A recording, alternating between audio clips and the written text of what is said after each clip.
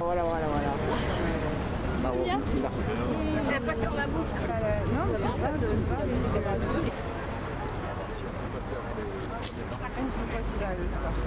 de Cette étape que nous faisons aujourd'hui dans le cadre de la résolution à l'Assemblée nationale contribue à cette reconnaissance, la responsabilité, reconnaissance de la responsabilité morale de l'État, mais aussi reconnaissance de la vérité. Dominique est arrivée, euh, donc elle avait 4 ans à la maison. Et moi, j'en avais euh, presque 7. Donc pour nous, euh, c'était une enfant qui avait été abandonnée. Mes parents l'ont adoptée.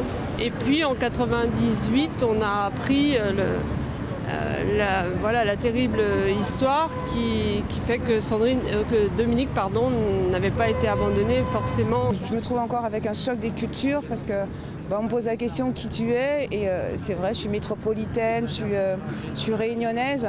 Euh, et, euh, là par contre c'est pas facile à dire. Aujourd'hui, c'est une journée vraiment historique, symbolique. Moi, j'en veux pas aux Françaises, aux Français. C'est à l'État que j'en veux beaucoup.